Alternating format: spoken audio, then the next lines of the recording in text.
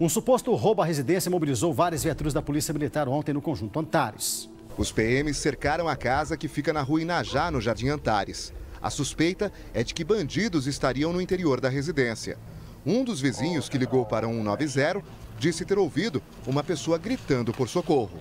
Rapidamente, as viaturas deslocaram para aquele local, realizaram um cerco em volta dessa residência. Depois que os policiais vasculharam toda a residência, nada foi encontrado. Apenas os cachorros estavam no quintal e provocaram o barulho. Foi apenas um susto. Apenas um susto e a polícia veio rápido. Segundo moradores do Jardim Antares, várias casas já foram roubadas no bairro.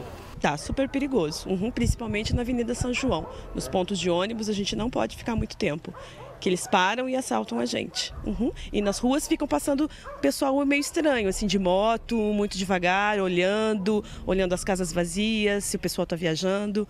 Tá bem perigoso. Todas as casas, a casa aqui da, é, do lado aqui da esquina foi assaltada, levaram tudo, não deixaram nada. A Polícia Militar diz que tem intensificado o patrulhamento nos bairros com maior incidência de roubos. Os policiais que realizam o patrulhamento em cada área a qual é designado já têm conhecimento dos crimes mais rotineiros e dos problemas pertinentes a cada local.